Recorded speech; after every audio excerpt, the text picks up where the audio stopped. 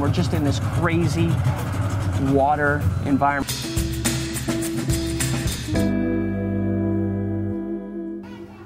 With everybody I spoke to, the first time you mentioned the word pirates, uh, it's like like a bomb exploded, really, like as if everybody on the whole island heard it. Right. So what's go?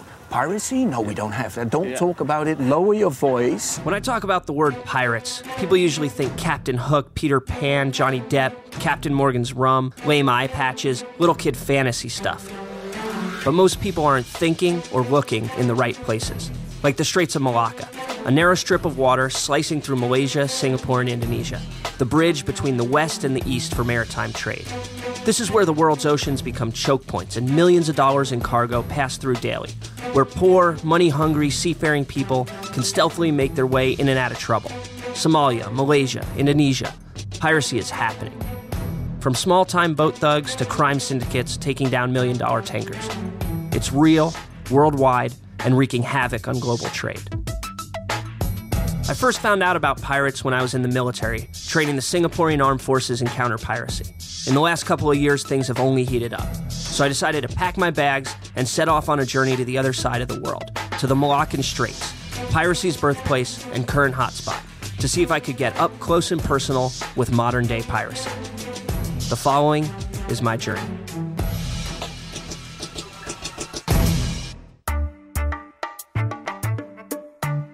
I guess London's a bit of an odd place to start a pirate journey, but that was my first stop. London obviously hasn't had a serious piracy threat for hundreds of years, but it's still a maritime trading epicenter and happens to be home to the international organization which monitors piracy, the IMB, or International Maritime Bureau, headed by Mr. P. Mukundan.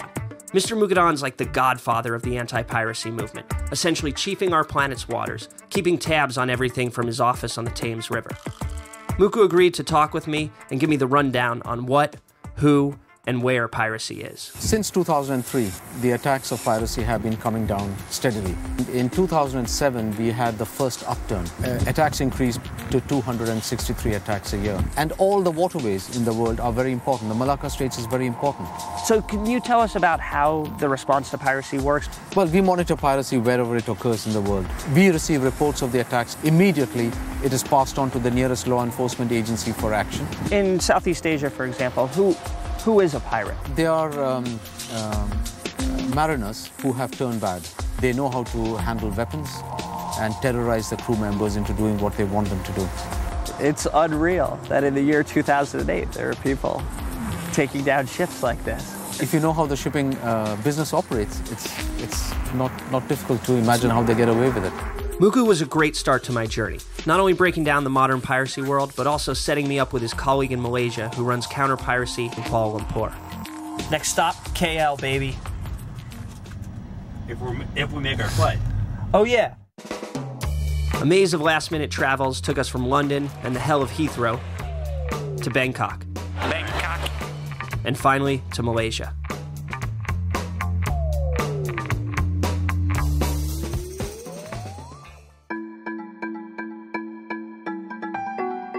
Waking up in Kuala Lumpur didn't feel very piratey, but it felt good to be in Asia, on the other side of the world and inching closer to the Malacca Straits in Indonesia, the heart of modern piracy. Kuala Lumpur is where the Piracy Reporting Center is, and where we're hoping to get a closer look at how the problem is being handled. It's a big, fast city, the fastest growing city in Asia, bustling with business and trade.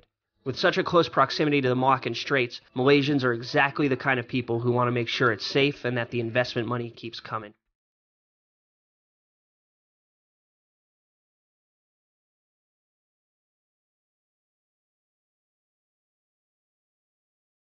So thanks to Muku, I was able to get access to the Piracy Reporting Center, the mothership of the anti-piracy movement, where counterstrikes, negotiations, and secret informants make up a lot of the dirty work done to keep the world's waters safe. Here I met with the head of the agency, who due to the dangerous nature of his work had to be kept nameless, faceless, and off camera. This is the Piracy Reporting Center, and it's like the 911 for piracy. If there's a pirate attack anywhere in the world, they call here first then the information is disseminated to governments and navies and police forces. This is a tracking system for all the ships, so if a ship's hijacked, they can keep a location on it. First call, it's not the Navy, or the police. It's the International Piracy Center. One of the duties here is intelligence collection, and that's where you see all these photographs coming from. Ships that have been taken by pirates. All this is stuff that has been captured. This is a crew that was captured, mostly Indonesian sailors. I mean, look at these photographs right here. These are the faces of modern piracy. This is a message Piracy Reporting Center just put out. Pirates hijacked these two fishing vessels. The vessels were taken to an Indonesian island and all crew were forced to jump overboard. The whereabouts of the two fishing vessels are still unknown. That's two weeks ago. This is a picture where the Indian Navy is actually firing on a cargo ship that was stolen by pirates. Look at this shot right here. There's a shot of the pirates themselves getting away. So the little legend for this map is that they use uh, skull and crossbone pirate heads with eye patch to represent pirate attacks. And as you can see, there's a huge pirate head right here where we're going.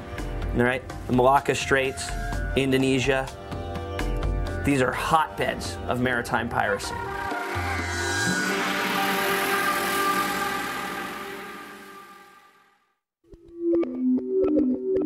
Agent X sent us on our way with a number of phone contacts, which we put to use right away. Though spending all day in our hotel room getting denied quickly became frustrating. Like chasing a ghost, I'm telling you, man. This, this is what you get when you hunt pirates. Empty line. Nearly every government agency and patrol turned us down. With three days to kill before we could depart for Indonesia, and on the verge of going insane from failed phone call attempts and bureaucratic bullshit, we decided to see Malaysia. My director Josh and I went to Sunway Lagoon, a giant theme park in the Malaysian jungle, given an upside down bungee ride, and allowed to surf Asia's only wave park by ourselves. The waves sucked, but it was fun. At night, we tried our hand at urban pirate hunting, slash drinking, if you will. We warmed it up on the Malaysian streets. The first bar we hit, Josh was pulled up on stage by the local cover band and forced to sing. The next bar, randomly, our bartender was dressed as a pirate and stuck a dead ringer for Johnny Depp. He agreed to take several shots with me, and that's when I knew our trip was going to be good. The pirates would come if we let them. No more bureaucratic crap. We're going to get to the bottom of this pirate shit on our own. When the Thai Navy found these guys, they found all 13 crew members tied up, living on bread and water that the pirates had left them.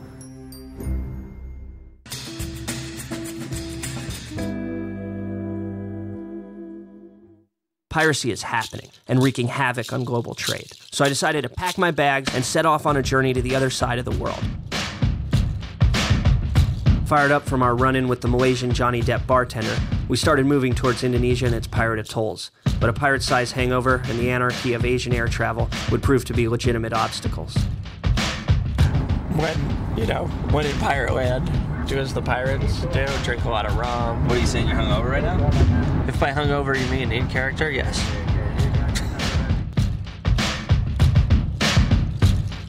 We heard last week uh, the Indonesian police just captured a crew of eight pirates on this little small island called Batam. It's apparently a pirate's den. We're gonna roll there, see if we can uh, go find some pirates ourselves.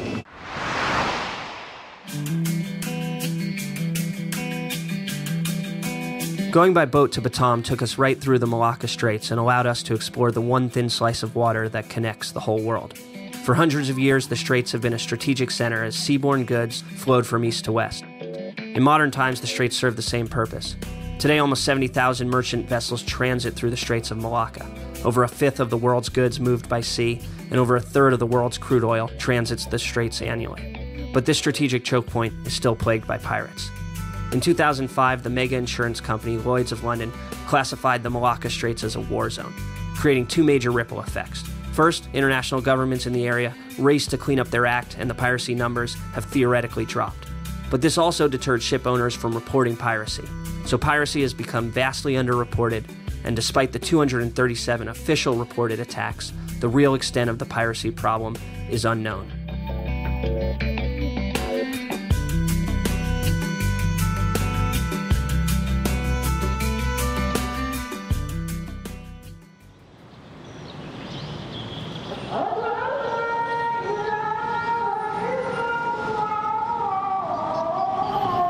So we just woke up in our hotel room looking out over the city of Batam, and things are different now. This story is about to change. This isn't sterile Kuala Lumpur or, or Singapore. This is a third world country. Batam is sketchy and kind of dangerous, but that's exactly where the pirates hang. They're down there somewhere. We're gonna very gently, because everybody keeps telling us how dangerous this place is, uh, ask around and see if we can find any pirates out there.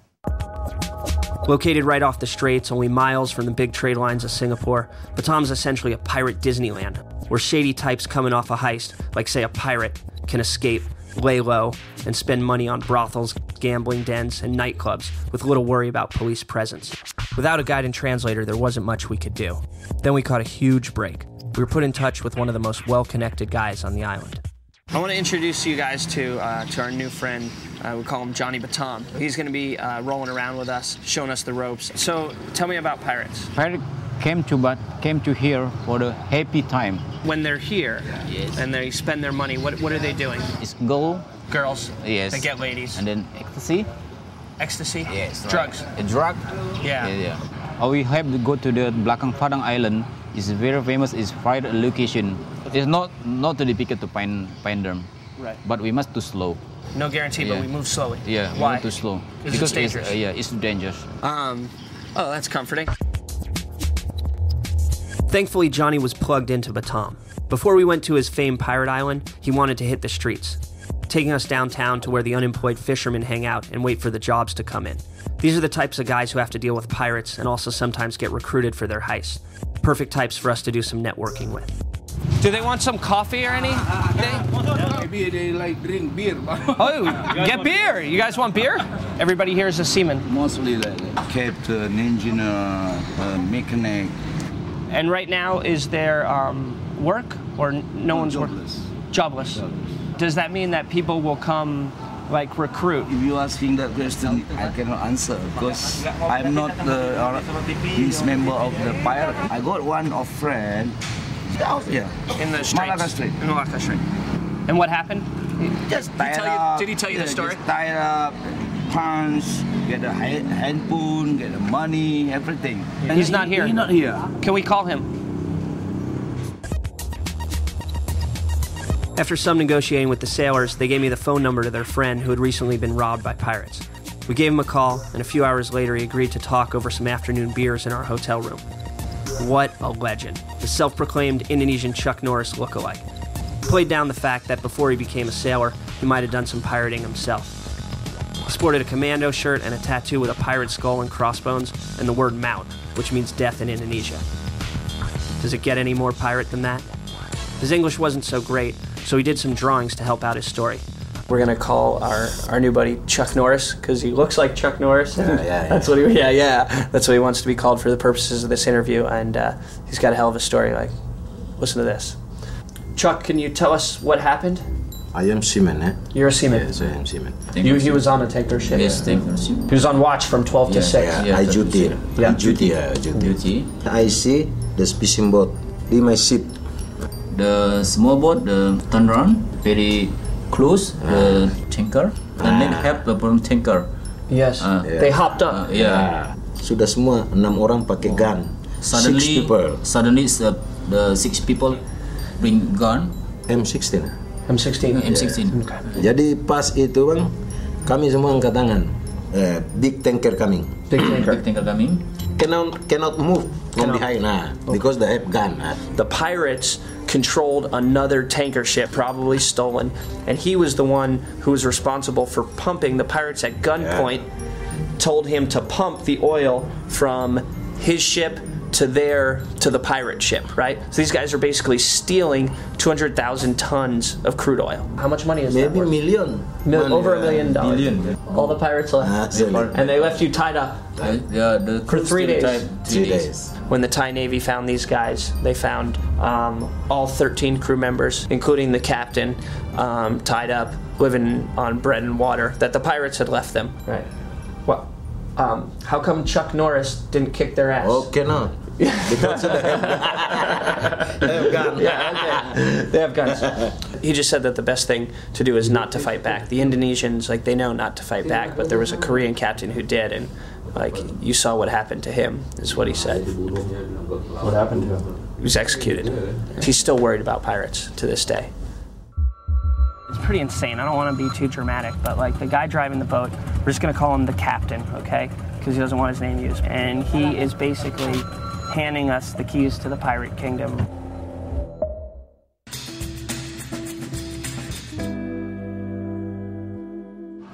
Going to Batam, the pirate hangout. The real extent of the piracy problem is unknown. Without a guide and translator, there wasn't much we could do. Then we met Johnny Batam. With our days in Batam running out, Johnny took us back to the Malacca Straits one last time. Finally, he had gotten the tip we were looking for a pirate type willing to take us to Belakang Padang and the infamous pirate islands we were hearing all about.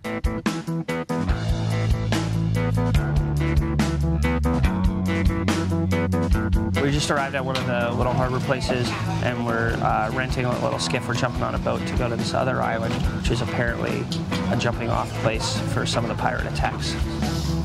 Let's go for a ride. Whoa. Our first stop was Tertak Kaban, a small fishing village where we were told we could meet our pirate guide. As it turns out, Johnny had indeed pulled off the unimaginable. He found us a true modern day Indonesian pirate. Our captain was involved in small time piracy heists for which he had done time in prison. He had also spent years shuttling between the small islands and pirate hangouts around Batam. Not only had Johnny found us a pirate, he agreed to be our guide through the pirate underworld.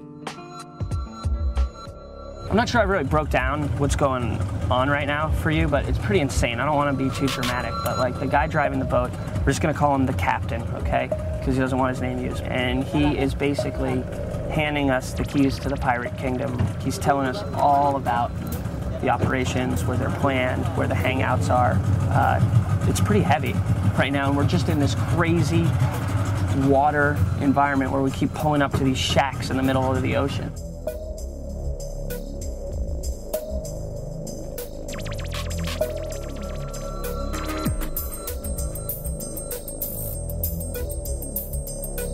Let me show you the Indonesian Navy.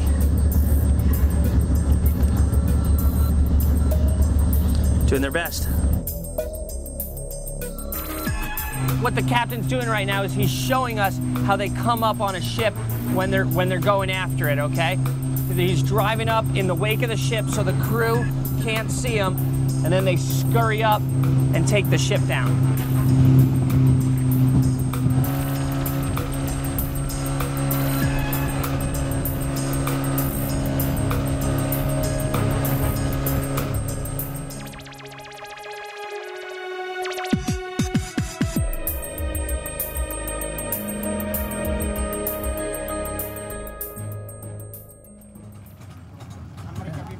America people. America people, yeah. I don't think they're that stoked that we're shooting. yeah, right I now. do not. Maybe we should not point the camera at that dude. They do not seem happy. Pissed. You wanna go upstairs? Sure. We want to go upstairs, huh? Yeah. Yeah, definitely. Finally, we had arrived at Belakang Padang, the island we'd been looking for. Despite some hesitation, Johnny was able to make friends and introduce us to the few pirates who happened to be laying low there. This was their headquarters, their party spot, and their planning center. And we were in. Paris here, stand by here for drinking first, and then make strategy. It's a good part And then to have a look is there. Is the situation Right. good or not? Right. It's good. We go. We can go walk around Yeah. and look. What, what should we look for? What's good? What should we see? Oh yeah, yeah, yeah. People yeah, yeah. drinking.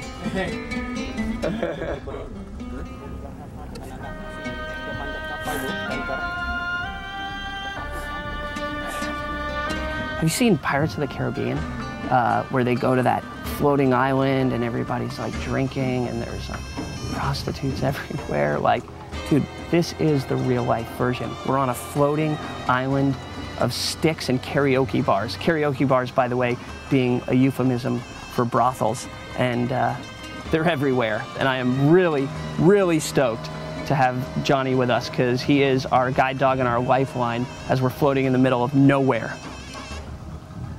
Let- Let's get out. Like I don't want to be so in the open. Let's let's go. Let's go a little further in. Let's move. Yeah, yeah. People people are giving us hard stares. So let's let's go. Let's go in. You want drink? Yeah, we can get a drink. Yeah. Okay. Yeah. Uh, so we decided to just go into one of the shacks and uh, get a drink. This is where you would chill during the day, plan your operation, wait for your target opportunity. That's that's what they've been telling us. I feel like I'm about to crash through the floor here. What were you saying that she said? Uh, Mama say last time is very very famous this uh, this place, but uh, starting the um, maybe six months ago, the Indonesian Navy is a respond is uh, the issue every time is uh, petrol. Yeah. Uh, I believe the pirates cannot stop because the pirates uh, is life hit from the pirates. Yeah. We need food, we need life, have children, we have wife. I cannot stop because the the reason is the pirates the economy. The economy. Yes, economy. So you think it won't stop? Cannot stop. Hundred percent cannot stop.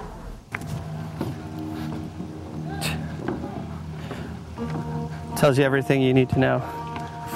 Fortuna, fortune. From from this spot, this is where they uh, they make their fortune and they spend their fortune.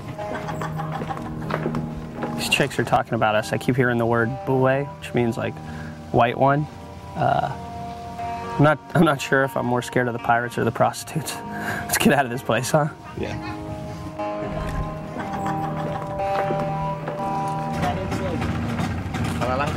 Bye. Bye. Bye, you guys. All right. Some of the nicest pirates ever. These guys are super cool, actually. There's all these different layers uh, to this. I mean, God, you just don't know who's out here. Like, look, look at these guys jamming along in a boat. That, that's all it takes is, is four dudes in a, in a little boat with an outboard motor and some machine guns to take down one of these multi-million dollar container ships. It's almost Robin Hood, but the foot soldiers, the workers, right? They're these guys, poor Indonesian fishermen, right, or out of work mariners who get recruited to do these piracy jobs. And you can see it. They live on the water. They know these areas. These inlets are their home, and uh, hence they become the springboard for, for piracy. We sped across the water on the final leg of this surreal journey for one last stop. The last island the captain took us to was his own, one we simply called Goat Island.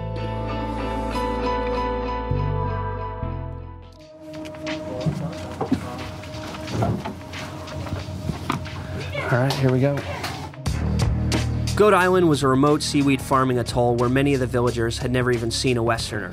It's from islands just like this that pirates are recruited. That said, the people there were some of the sweetest we met. It was the perfect place to see the root conditions which breed piracy. How, how, how big is this island?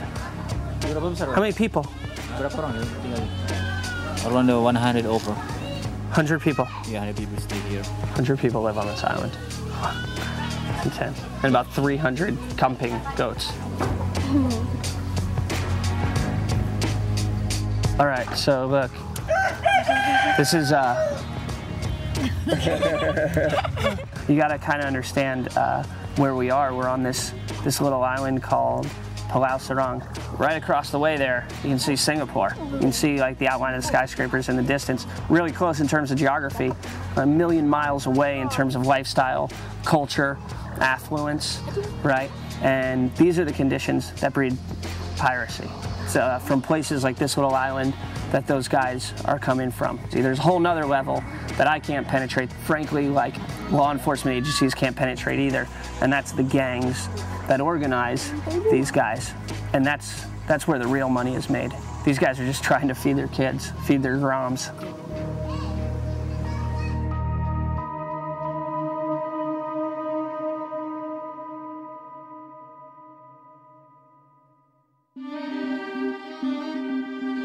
As I left Indonesia, the riddle which is modern piracy was still swirling in my head. The international trade circles and big time crime syndicates, the small time fisherman, turned new recruit, and the recruit's children. Mostly, I was left with memories of the people and the sea they've inhabited for thousands of years. Like Johnny said, as long as big trade boats run through these seas and there are hungry mouths to be fed, piracy cannot be stopped. So we're left with this ancient maritime tradition, which will continue to haunt our oceans long into the foreseeable future.